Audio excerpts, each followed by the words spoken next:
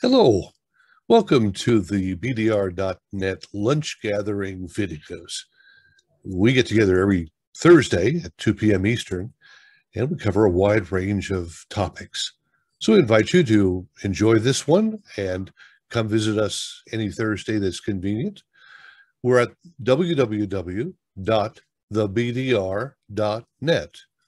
That's thebdr.net. And we'd be happy to show you the engineering articles, IT articles, history articles, things that you'll find of interest. So again, thank you for coming. Enjoy the video. Take care. Jeff Welton, he's back Hi. with us. Isn't that great? And uh, I do want to mention Jeff has been doing Transmitter Tuesday for a year now, based out of his dungeon there. Uh, his man cave. What would we what would we call it? Um, Dungeon's the word I use. Okay. Uh, let's see. I've got we got some background noise, so I think I better mute mics just in general. Uh, there, that's better.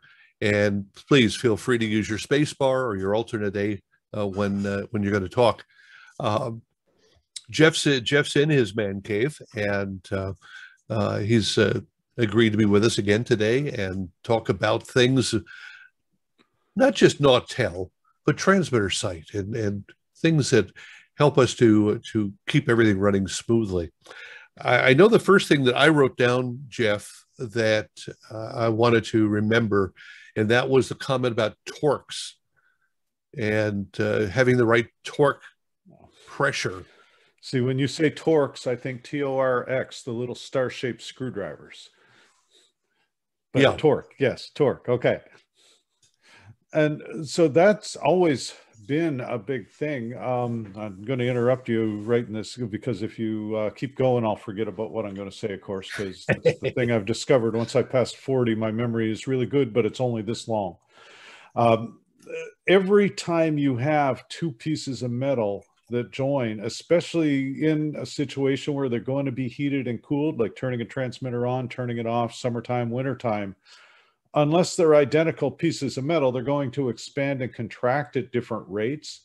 And so for uh, to give you an example, uh, we the old 50 kilowatts we used to build, the Ampfet 50, I, I know I see a few guys on here that I know have worked on those before and uh, those had these big honking uh, through like bolt-in diodes with a fly lead on them. Uh, QL08, QL09 are our part numbers. The fact that I can still remember that is really frightening. They were an IR300AU, so it was a, a 300 amp diode. Anyway, those things were a nickel-plated uh, copper, and they were going into an aluminum heat sink. And the um, thermal coefficient of the two is different. So if you didn't follow the torque and you just went full Armstrong on uh, tightening those things down, as soon as the thing got up to temperature, it would shear the stud side of those diodes. And I mean, you haven't lived until you've heard what a one inch diode bolt sounds like when it's breaking in half in the middle of a transmitter. It's not a little tink. Um, and then thing, bad things happen in a really fast hurry. Uh, same token, I've seen a lot of folks using uh, stainless steel hardware in cast mica capacitors with the brass nipples in them. And if you don't torque those very carefully, either they'll get loose and start a nice little meltdown or they'll get tight, shear the pin and start a nice little meltdown. So definitely torque, uh, everything. I mean, when we're building a transmitter, and I, I know the same's true with Rohde because the, the Germans are incredibly detailed when it comes to stuff like this. Every screw has a specific torque setting. I mean, whether it's a cabinet screw, and I mean, I'm sure Don can speak to it because I know he's been to the factory, but uh, yeah, every screw has, has a torque setting and uh, definitely you should try to follow that whenever you can. Don, care to share? Don, you're muted.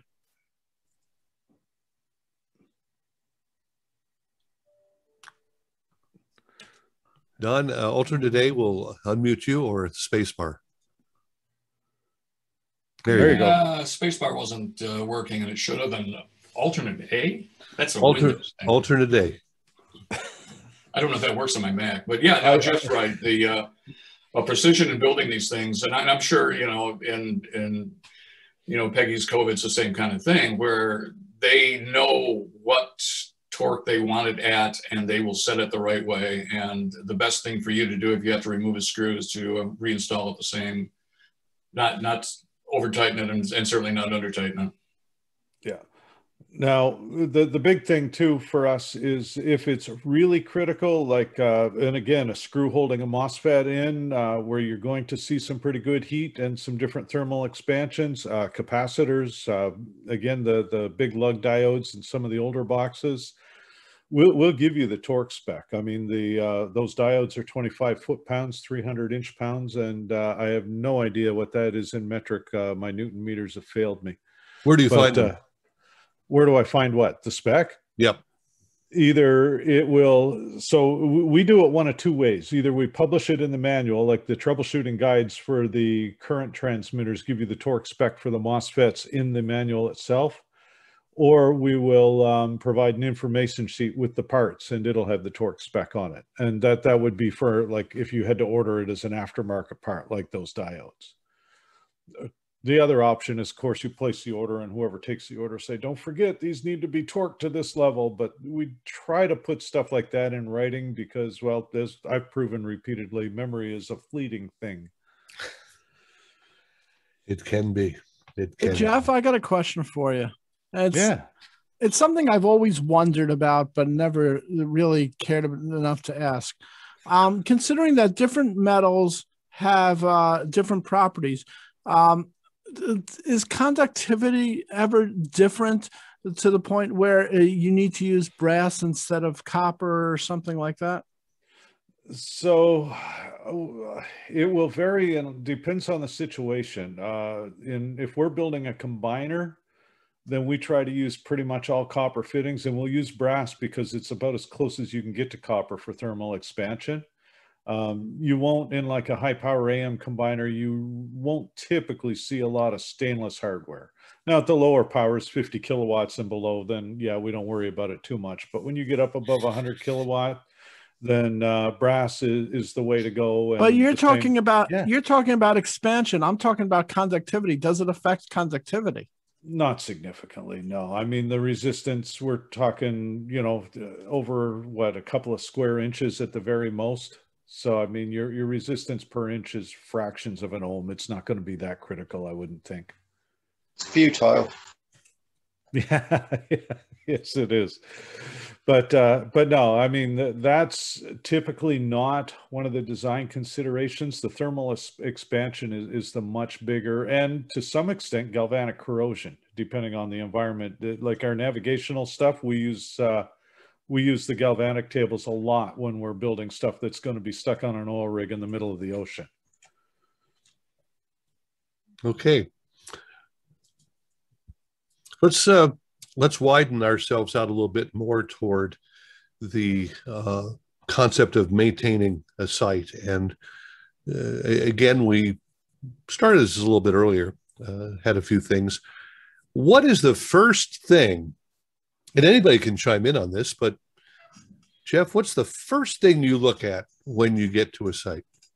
So remembering that I typically see every site for the first time. It's, I mean, if I have to make a repeat visit, something's gone horribly wrong.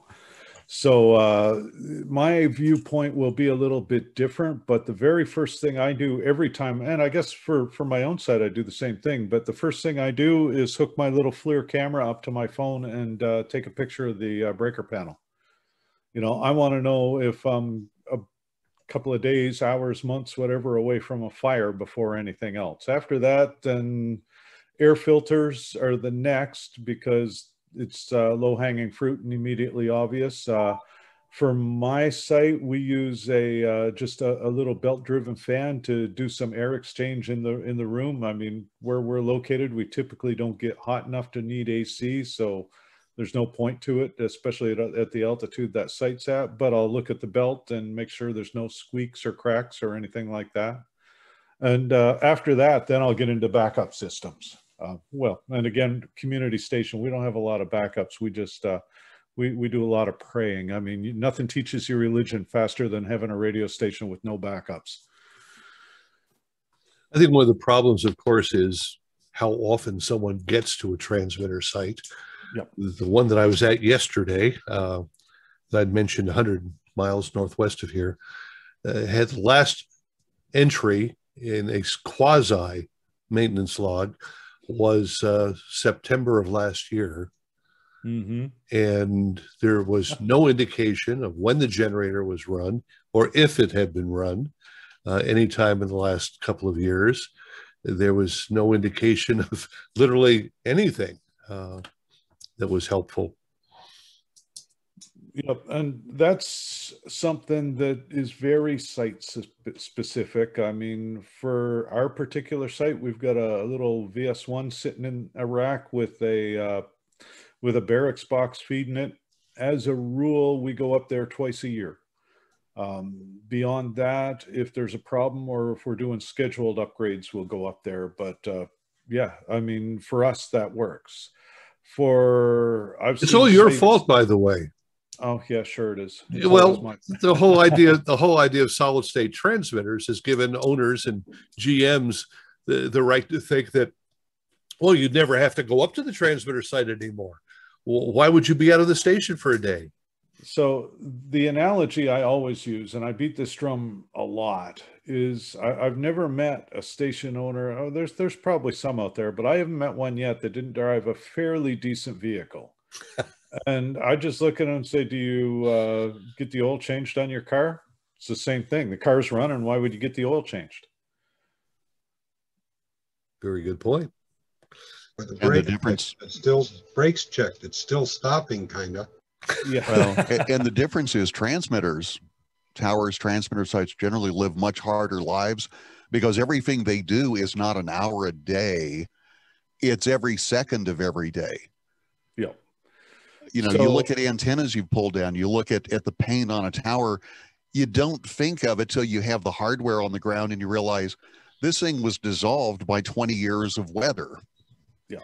And we did a, uh, one of our, then uh, the, I'm going to correct Barry a little bit. Uh, he, he mentioned Transmitter Tuesdays. Uh, I think the name marketing gave it was Transmission Talk Tuesday, but then they turned it over to me and I just basically make it whatever I happen to feel like talking about this month.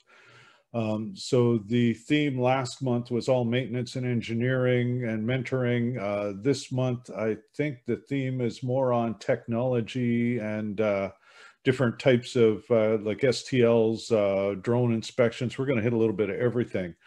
Um, anyway, the uh, the point I was getting to with that is that you really need to, in a lot of cases, really work to educate management on the importance of maintenance over putting the fire out. And that can be a challenge sometimes because why would you fix it if it ain't broken?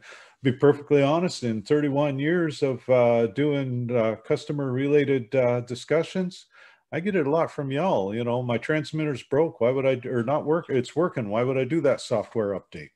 Or uh, why would I? I've walked into a site and Barry keeps after me for the picture, and someday I'll go through the shoebox full of photos to find it. But I walked into a site in Winnipeg, Manitoba once. They had this nice little cardboard box there, about a foot long by nine inches wide.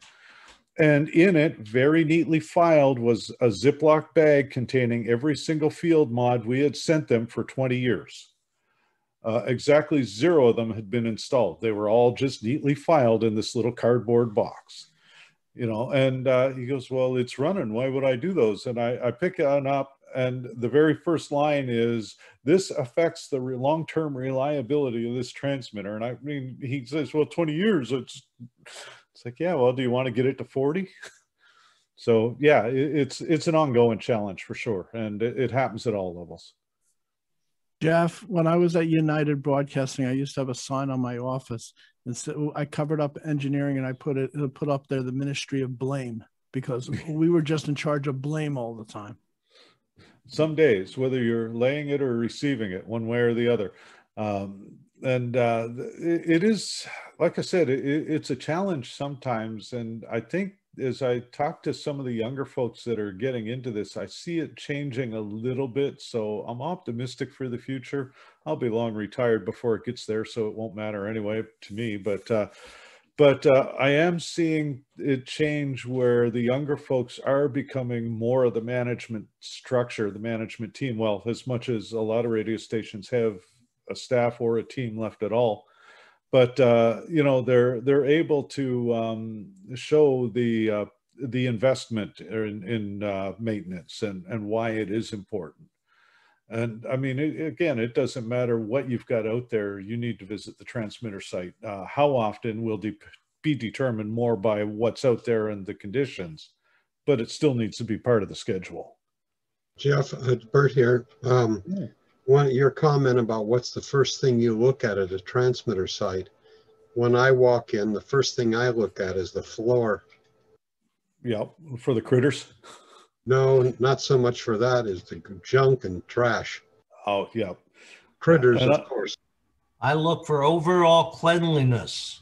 If it's dusty and dirty, you can bet that uh, things aren't getting cooled the way they should. Not just cool, you can be reasonably sure if it's dusty. So I mentioned in a, a recent uh, interview about a site I walked into where I was convinced the engineer was trying to commit suicide. I mean, they had panels open on all the electrical panels. The covers were off them. Uh, the transmitter had half the interlocks bypassed. It's, you know, there was uh, Schedule 90 conduit pieces laying on the floor. It, it's like, I, I couldn't, I mean, I walked in, I looked and I said, yeah, no, I'm not doing a whole lot in here today. I, uh, nice to meet you. Let's go grab some lunch. Um, but uh, yeah, it, it's uh, very much the, the pride in the facility will tend to show. And, and, and I'll quantify that because in some cases you got one engineer, I, I got one group where I know the engineer, I know he takes pride in his work. I also know he's one engineer covering 42 stations in 17 states. So there, there's a limit, you know, if you don't want to work 20 hours a day, sometimes things don't get done. I get that. When you get to a transmitter site, Jeff, do you read the maintenance log that's there? I tip, and again, remember, I'm not uh, approaching it from the viewpoint. Uh, if I was coming in and trying to troubleshoot a problem, I would. Um, if I'm coming in to do a due diligence or an inspection of the grounding or whatever, I'll usually skip that. I'll still take my thermostatic, my uh, temperature sense of the reading of the breaker panel because I really do like to know that part of the thing. Um, but yeah, the maintenance log, what I mean, what we use our log for is more to remind me what I did four trips ago when I think I did that software update, but I can't remember for sure. So that's, you know, again, like I said, as I get older, my memory gets shakier. And uh, that's the probably the closest thing to a diary I ever keep because I really suck at journaling. But uh, but the transmitter log, we do we do tend to at least give a, a basic outline of why we were there. Would you say that you see a lot of sites with no log at all? I would say probably more without one than with one these days. Yeah, I mean, it used to be when I was doing field service in the 90s, every site had a had like a little duotang or a notebook or a scribbler or or or whatever but these days, yeah, it's 50 50. Now, having said that, I mean, the uh, transmitter log for our facility is an Evernote file shared on a OneDrive account. So it's electronic. There is no actual physical log book anymore. So, yeah, I mean, it, it varies. But uh, yeah, you don't see it as much as you used to. Hey, Jeff, I was often wondering this. When you run a uh, firmware update on, on a Nautel transmitter, isn't there some sort of update log that uh, is recorded inside the transmitter that this update has uh, been applied or whatever? There is, and finally, after years of crying and whining and a little bit of pleading and some threatening, um, we've standardized so that the software version on the website bears some resemblance to the software version showing on the uh, software log when you go into the transmitter on the older transmitters, you'll see a list when you go to the software log, you'll see a list of hex and EEP files that uh, bear no resemblance. So you end up calling support to say, hey, what are these files? What version is this from? Or you have to download the latest package, unpack it, and then take a look to see what the files are. So you know that's one of those things as we get more into software we're getting better too because yeah i mean software developed transmitters i mean our v series was the first one we had and and it's been a learning curve for sure. Hey jeff um, this might be opening a can of worms but what do you consider essential items to go on a transmitter line? Just that you open the door and say hey everything's okay or more more essential stuff so like I and I, I did an interview on this topic for an ebook a week or two ago, but uh, one of the things that I uh, I say is I try whenever I go up the hill to have a purpose for this particular visit, my general purpose. Now, I will still do my temperature check. I'll do my filter check, look at the blower belts, things like that. I'll, I'll do that regardless. I'll do that every single time I walk in the door. Um, but I don't just say, okay, it's the first Monday of the month. I need to go to the transmitter unless there is something on my schedule that says this is why I should be there. You know what I mean? Because, yeah, it's easy to just do it because you always do it without really looking to see, I guess, the why of it. I mean, like in the summertime, if you're in a rural area in, in farm country, you're probably going to visit its transmitter, especially if you've got forced air cooling, you're going to visit that transmitter a lot more often. Um, if you're down in Mississippi where, you know, the cotton season, July, August, you're probably going to visit uh, whether you're air conditioned or forced air because you're going to need to blow the cotton fibers out of the uh, heat exchangers or out of your air filters. So it it really really depends on where you are and the specific situation, but you need to figure that out and have a schedule.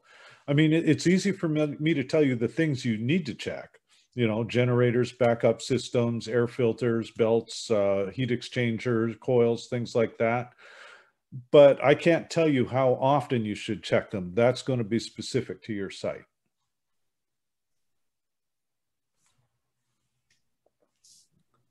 I come across a thing more and more. We didn't always have connectivity at the tower sites, and we've made friends with lots of sort of mom and pop wireless providers. Mm-hmm. And usually you, you can get some revenue, but at a lot of sites with some clients, they don't really want the money. They would just as soon have the bits.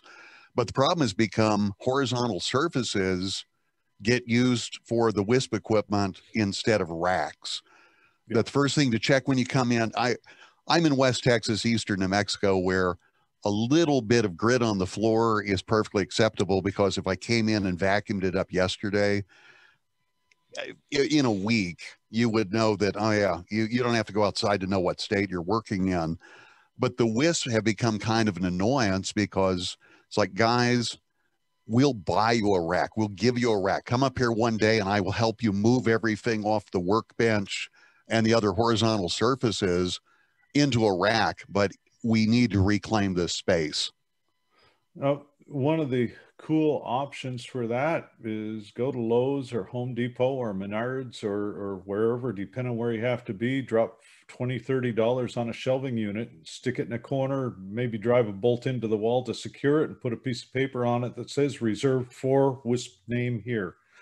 And now they've got all the flat surfaces they could ever hope to use. Now that does assume, of course, that your transmitter site has got enough room in it to uh, accommodate a few more uh, shelving units. Because I've run into, so I ran into one. My best one at all was in Taiwan. Um, we took meter readings by grabbing a um, drill with a hex, uh, a, a, nut driver on it, and unscrewing the uh, corrugated tin on the side of the transmitter building because the transmitter was flush up to the wall of the building. Um, you couldn't read the meters from inside the building. Um, of course, that's the same one on a mountaintop where I took the uh, flange off the coax and the transmitter tipped over because the coax was what was holding it vertical. So, uh, you know, I don't think I've seen anything quite like that in the US yet, but I haven't seen them all. So I'm sure there's some. I saw a similar one in Taiwan. Might have been the same site. Was it running into a 16 bay with the top bay just below the tree level? No, this was a, uh, a let's see, I think it was a, a six bay. Taiwan is interest, interesting for the folks that haven't been there. Um, and I don't know if it's changed in the past 10 years, but it used to be the maximum transmitter that you could have power level wise was a kilowatt. So they'd buy 20 kilowatt transmitters, ship them to Hong Kong or someplace that wasn't Taiwan, remove the serial number label and anything that identified what power level it was, slap on their own label saying that it was a one kilowatt transmitter, and then it would continue on the journey to Taiwan. It would get there and the inspector would open it up and see one kilowatt transmitter and you didn't know what he was looking at. So off it went. And uh, they'd have a, a like I say, a 16 bay antenna hidden under the tree line on top of a mountain, a real worm burner. And uh, so 20 kilowatts into 16 bays halfway spaced is uh, going to generate a little bit of TPO, a lot more than a kilowatt for sure. But uh, that's how they get stuff done up there. Been there, seen that.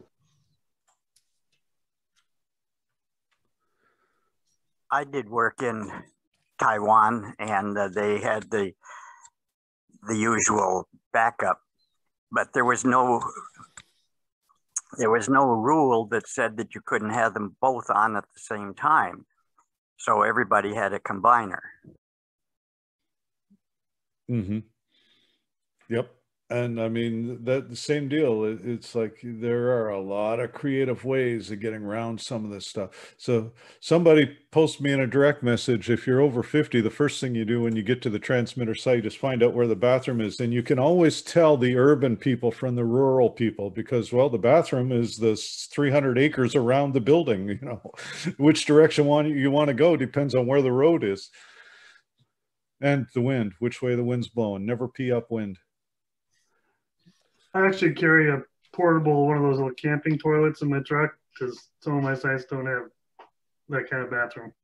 Yeah, yeah, a bumper dumper. There you go. That's uh, so for anybody who doesn't know it, a bumper dumper is a uh, toilet seat that plugs into the two-inch receiver on your trailer hitch, and uh, you just hook a five-gallon bucket with a plastic uh, bag line in it, and uh, you got yourself a full set of facilities. All you're missing is I don't know a room. Let's hope But uh, nobody drives off while you're sitting there. someday that's going to happen on I-5. You can see it coming any day now. And you can go to any camper or RV supply and they'll provide you with basically a full height black shower curtain and some little props and bathroom stall. So it and your bucket or it and your composting toilet. And it bugged me a lot less when I was younger. The older I've gotten and the more diagnosable diseases you get treated for, you, you know, you'll you'll take your midday meds and suddenly it's yeah, I wish I had you know, the bucket was a little closer. Yeah. You're going to say I should have timed this just a little better. Yep. I uh, ended up at a uh, site in, uh, I think I was, it was Paraguay for that one. And uh, I, uh, nature called after a, a giant uh, dinner with way too much uh, animal product in it. Is, there is such a thing. And uh, so I uh, decided that I was just going to sneak out back of the transmitter building. So I um, sort of hit it out, and the, one of the guys grabs me and is, uh, "Where where are you going?" And I said, well, "I could go out back." And you you said El Bano, and he goes, "Ah, no." And I go, "What do you mean no?" And he goes, "Oh, it's crocodiles." And it's like, okay, I don't speak a lot of Spanish, but I speak crocodiles. So uh, we ended up walking a mile down the road. Well, that, uh, you know, in my 20s, I could manage that walk. If I had to do it today, there'd be a problem. You also look up and see security cameras or station sky cams and things, and you realize, I, yeah, yeah, I'd like to be somewhere else right about now. What do you do if your site is right next to a golf course? You know, that, that's where you get David's uh, curtain, that's for sure, the little shower stall thing. of course, golf courses usually have uh, facilities in the clubhouse. Now, the question is that they'll let you in because most of the, a lot of them aren't public. Yeah, if you're at the back nine, there are a lot of remote, you know, rest buildings. They're they're pretty rudimentary, but you know, better than nothing.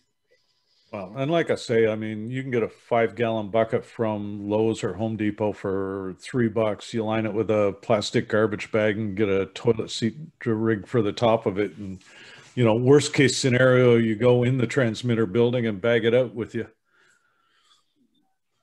But yeah, that comes back to one of those uh, preparation things. If you know you're going to spend the day at a site with no facilities, and you know, I've been at some sites in North Houston where you weren't going to be dropping trow out behind the transmitter building unless you wanted to get your butt shot off.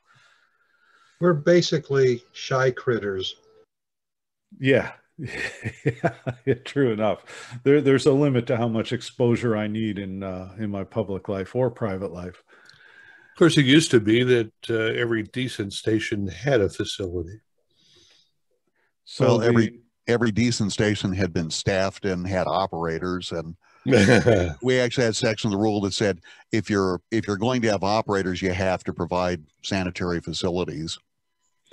So i still encounter a few but i, I would say that the ones with uh, water even let alone toilet facilities are probably by far the exception. I, I wouldn't even want to guess that it's in the single digit like 5% range well, and rural water is is its own set of problems. If it's if it's not mineral laden enough to clog your pipes, which is one problem.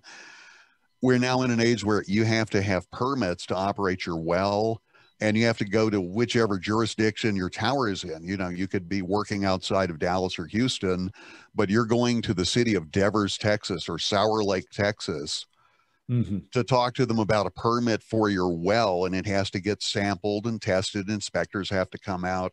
And it just it becomes harder and harder to keep things like that running on any level.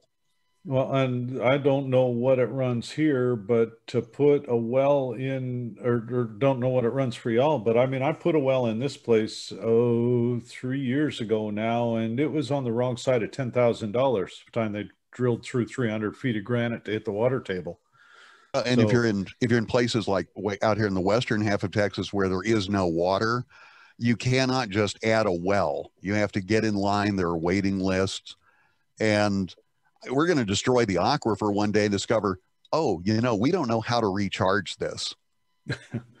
yeah. So, I mean, definitely, although the facilities are nice, they're not always possible. So, yeah, having, oh, the other thing that I do, and, and it's really, I say cool, I don't know if cool's the right word for it, but one thing that COVID has made a lot more accessible is hand sanitizer or, you know, something to wipe up with or clean up with. I mean, I've always had something in my toolkit for, because you cannot crawl through a transmitter for five hours straight and come out as pristine as if you just came out of the shower. It just ain't going to happen. So, I remember a fellow that um, in his um, little emergency kit kept a fresh seltzer bottle. And mm-hmm. uh, I asked him what that was for, and he said, You'll find out. So, what was it for? Or just cleaning up?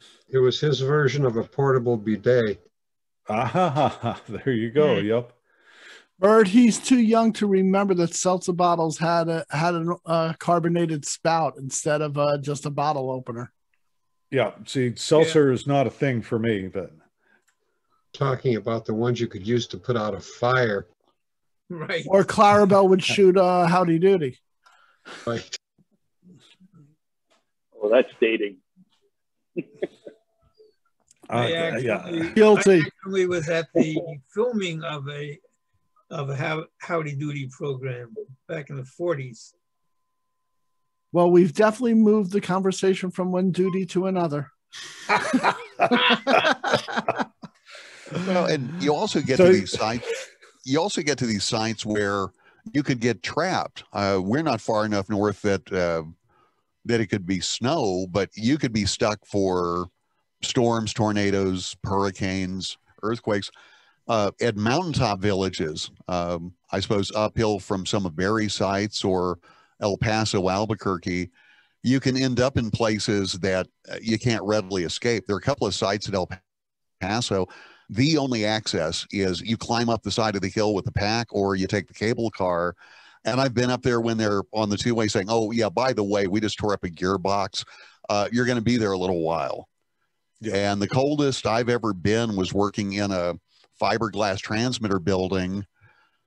And at, you know, at midnight, I turned off the last warm thing in that space, spent the night working on it. Uh, subsequently, we had a couple of sleeping bags and extra blankets that would hang from the overhead grid, uh, stuffed with energy bars and bottled water, most mostly to keep the critters out of it because they could get into anything. Mm-hmm. I know what you mean. Uh, I have sites across Maine, and I had one fun night when they'd shut off the ski lift, and I had to snowshoe down the ski mountain in the dark. Yeah, and I mean that's no heat and that's one of those things where you know i mean it, will vary site to site. I was at a site in fairbanks rebuilding a 10 kilowatt after a filter failure and uh, they ended up bringing a, a, salamander in to heat the room enough to make it tolerable because well at minus 40 degrees they're like it's a dry cold and it's like yeah that's like saying tucson's a dry heat you know my oven's a dry heat it's still hot. So uh, you yeah you you definitely need to accommodate for the environment. Like for us our site is about four miles off the main road on a sort of kind of maintained power line cut by sort of kind of maintained what i mean is when the site when the snow gets to be more than two feet deep they'll send a plow up it after the snow stops in a day or two so if you're going up there, you check the forecast because the snow is forecast for that day. You don't go up there typically. Uh, you know, now we have the advantage if it's off the air, I can plug a 50 watt in on a short stick back at the uh, studio and, and cover our community. But, uh, you know, like I said, we don't have a lot of backups, but we do have an unofficial aux.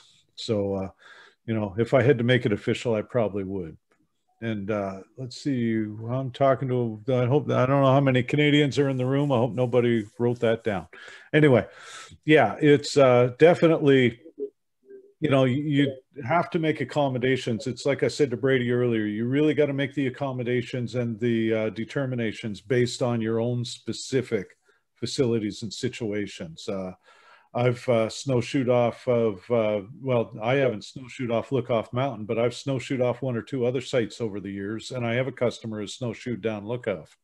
And I wouldn't recommend it. Yeah, I was at the top of Mount Diablo and um, 39, 39, 45 feet above sea level, which is not much, but it's the biggest thing around. And the park ranger came up and said, we're closing the site in 10 minutes. You got 10 minutes to get down out of the gate because once we close the gate, you're up here forever. Yep. And uh, I mean, with us, the good thing about our site is that it's owned by the power company, the local power company. So uh, one of their requirements is that we call their uh, main uh, facilities management number when we're going up and give them an idea how long we'll be and then call them again when we're going down. Yep. And they actually pay attention. If you call them when you're going up and tell them yeah i'll be about an hour. If you haven't called them back in an hour and 15 minutes your phone's going to ring and uh, that that's a really good thing. You know, the, it's a sense of security. If I go up there and the, the weather gets a little ugly while I'm up there, and it's like, okay, I, I'm leaving now, but do you mind if I call you back in half an hour when I get down to the main road? And if you don't hear from me in half an hour, send a tow truck or something. That is terrific. So many places you don't have anyone like that. Uh, about two years ago, fellow down in San Angelo hurt himself, bled out, died, and uh, you know that just no one knew. And it's it is the saddest thing. And since then, I've been an awful lot better about filing flight plans. And you tell people, if you do not hear from me by this time, this is where I plan to be. But call me, and here are you know here are the reg- the regular other numbers to call. Yeah, uh, it's it's rude to leave. Go ahead say that's one of the things that I've been beating the drum on more and more out of I mean, I do a lot of safety presentations and talking about engineers found at site dead. And I mean, what a really fun line to Google. But uh, the funny thing is, and again, I use funny advisedly, more and more I'm discovering that very few of the guys that are dying at the transmitter site are dying because they stuck their fingers into something hot and got electrocuted. it's always, almost always, you had a heart attack, you had a stroke, you tripped on something and banged your head, like you were saying, David. Um, any one of a hundred things not related to actual electricity. So yeah, I mean, having somebody who knows where you are and knows roughly when you'll be back and some kind of call out system. If you can't get anybody to go with you, then then do that at the very least. A friend of mine uh, who goes up to Mount Wilson a lot, but he'll take various routes because of where he comes from. He may come up from the desert side. He may come up from the LA side. There's there's various routes you can get up there. And he was concerned. He's the same age as I am, 80, and he uh, was concerned about, you know, what if something happens, you know. So uh, he and I both have a program called Life 360 in our phones. And I know where he's at, he knows where I'm at, even without, you know, I know when he's going up the mountain, I know when he's going out of town or something.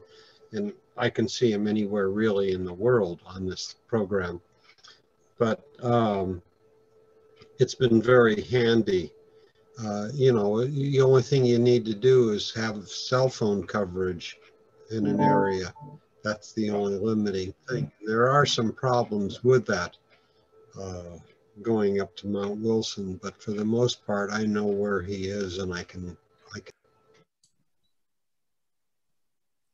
Yeah, and I mean beyond that, uh, like for me, I do a lot of uh, backwoods hiking with my dogs. Um, we go out. We typically go anywhere between five and ten miles a day most days, and um, so I've got the uh, GPS tracker set up on my phone through my Map My Ride app, so my wife can log in and see exactly where I am and whether I'm moving. And whether I'm moving is more important than where I am, because if I'm moving, it means I'm still alive, obviously.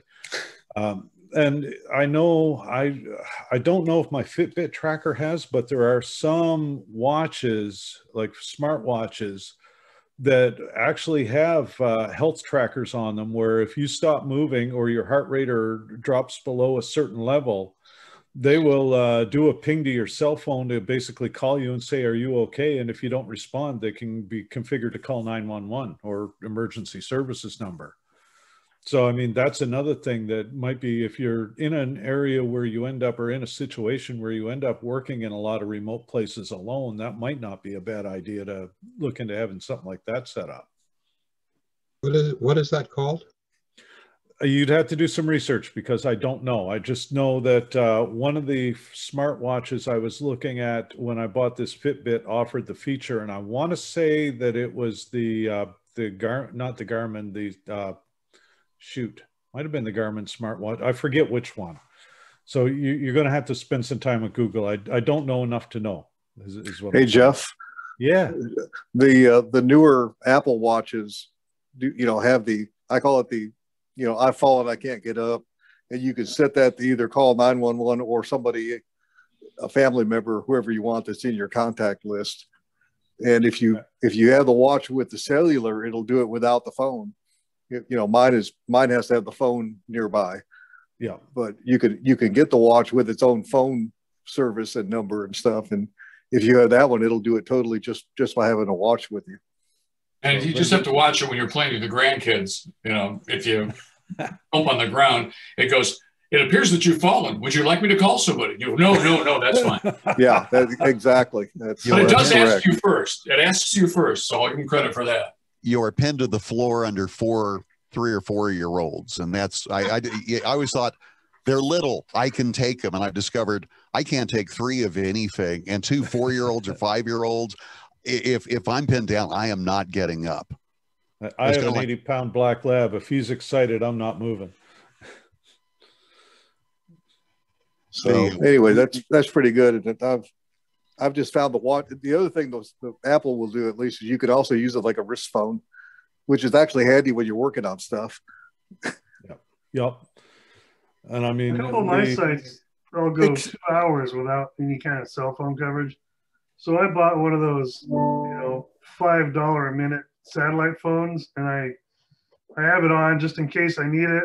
Because if I'm gonna need it, I'm gonna need it. Uh, yeah, it's, it's, one of those ones you only pay for if you use. So, but it gives me a sense of security and my wife a sense of security as well. Well, and you can add that to a station's disaster recovery plan. We used to have those at every Univision radio home office. Everyone had a minimum. Every you know, the, every phone had like 15 minutes built into the plan, but it was like the earliest days of cell phones. And typically, we would try to do like a conference call every quarter. Just go to the roof, you know, go out the fire exit, and we're going to do a few minutes just so we got something for the minute, you know, for the dollars, and to prove the thing actually worked. Right. And, And again- you, you you try to get people in 20 offices across the country to do one thing. It's like herding cats, but yeah, that, Yeah. that's the, except if you're working on a transmitter and you have a Fitbit on and your phone goes off and it- you're on vibrate and suddenly you, your Fitbit starts vibrating and you're thinking you're getting bit uh, by by something. Yeah, of course, if I work on a transmitter, if I have the doors off, I don't have rings or wristwatches or anything on. That's yeah. that's the first thing you need to do to put down. Except I forgot because I, uh, you know, these Fitbits are rubber now, so you don't even think of it as being metal anymore. It scared the daylights out of me. There used to be a section the rules about good engineering practice, and inspectors used to use that to uh, ding you for any exposed RF in the transmitter room. That's so, Phil? I don't remember that one. Uh oh. But then When did again, the- how many people do you know walk around and say four beers? We when had did, uh, when did GEP go out of print? My whole career, I've heard about it, but I've only seen excerpts of it. It it was out of print, I think, in the fifties, wasn't it? Nope. I had a station inspection here. The the only uh, the only formal one that I ever had in '78, and uh, the transmitter. I had just been hired by this company. Uh, it was a Collins 550A1, and the fan had died. So the back of the transmitter was removed, and the air conditioner funneled right into the transmitter inside a locked building, inside a locked gate. And the inspector dinged the station for good engineering practice. Where, where was this, Barry? Tucson. Huh. This this goes to another story about the guy FM or AM? AM told me he was going to he was going to have to write us up because we didn't have all the contracts on our part-time person air per, air people.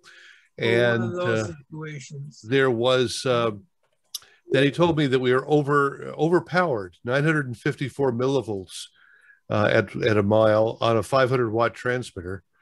Uh, and then he told me there was a radial exposed. A radial wow. A radio He- exposed. He'd have a lot of fun out here because the 50 kilowatt locally is uh, the the site was on uh, bedrock and all the radials were exposed. Yeah, you do that- have to. Well, Yeah, there was a I- site above Santa Barbara where it was never covered. They tried all kinds of things with rock. They tried it with tar, little Mhm. blobs of cement. There's one north of Phoenix. The 1100 was entirely over a, a, a tight rock bed, and there were little dabs of concrete every few feet trying to hold it down. If someone, if an inspector asked me about an exposed radial, I'd say, not my part of the job. You need to go in back and talk to the copper thief who's working the array right now. Bert, what was that 1500 up on the hill over Burbank? Uh, the once uh, KROQ, KBBQ. Yeah. That was on top of rock, wasn't it? You do what you have to. Yeah, they actually had sprinklers to try and keep it damp. And read a description of it once. They had the quarter wave radials and had put a like a racetrack of copper around that and run copper weld from the the perimeter ground as far over the sides as they could throw it. Still didn't talk well, but they were trying to make it settle down. The flip side of that, of course, is uh, when the foliage overtakes the inside of your tower fence and you can't see the tower from the foliage. The Never other seen flip side was a station I visited in the Seychelles where the towers were about a quarter mile offshore, offshore on top of a barrier reef. No radials needed. That, that'd be nice. Just drop one copper lead down there and you're done. Pretty much. All right. Well, on that note, I have got to leave. It's near the top of the hour. My real boss has a birthday today, and I promised her dinner at her favorite fish and chips dive. So I'm going to go out and load up on grease and cholesterol. Ah, very good. Ah, Sounds like a good is over. time. And I'm not- correction, uh, Jeff, the f- first thing any engineer finds near a transmitter site is where to eat. Yep. Yeah. That's right. And, and that's the cool thing about visiting y'all is uh, everybody knows the good places to eat, which is why I have a subscription to Noom these days and spend five to 10 miles a day with on the trails with the dogs. On that note, I will let y'all go and uh, thanks very much for the day and uh, hope to see some of you. We're starting the Tuesday sessions again next week. Uh, talking about Jim Gray's going to come in. We're going to talk about drone inspections and technology in general and uh, how uh, how annoying all this stuff is when the process of trying to make our lives easier. Did you see that drone that went into the lava flow yesterday or the day before? What a I did, great I did not, but I'm going to be Googling that because that'll probably be uh, featured in the slide deck. well, Jeff, thank you. We appreciate your being uh, with us uh, each month and uh, talking about all these things. And we appreciate the uh, wealth of experience here because of the many different sites that you've had a chance to visit. I just I'd like it because we can talk to all kinds of folks that uh, I mean it's like I said for anything we run into there's somebody that knows more than me. I just happen to be the guy that they put in front of the microphone the most. Take care, Jeff. Be well. On that note, thanks all. Have a good day. safely, Jeff. See you. Take care, Jeff. Good Have a to see you. good one, Jeff.